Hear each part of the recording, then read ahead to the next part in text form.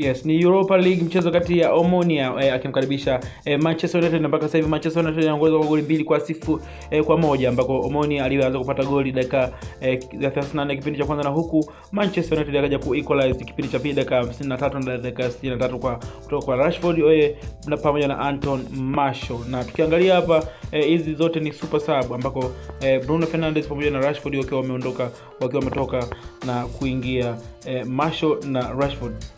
so tukiangalia katika eh, kikosi hiki cha Omonia wenyeji ambao ni Omonia wanatumia formation ya 352 na huku eh, wageni eh, ambao ni Manchester United wakitumia formation ya eh, 4231 so Cristiano Ronaldo anacheza kama striker pale central striker na tukiangalia hapa okay. Thanks for watching hakikisha una subscribe hapo chini kwenye maisha mekundu then una turn on notification ili usipitwe na habari za kimichezo ambazo tunakusogezea hapa muda wote. Saa yote katika channel yako pendwa kabisa hii ya eh, Real Sports. Thanks for watching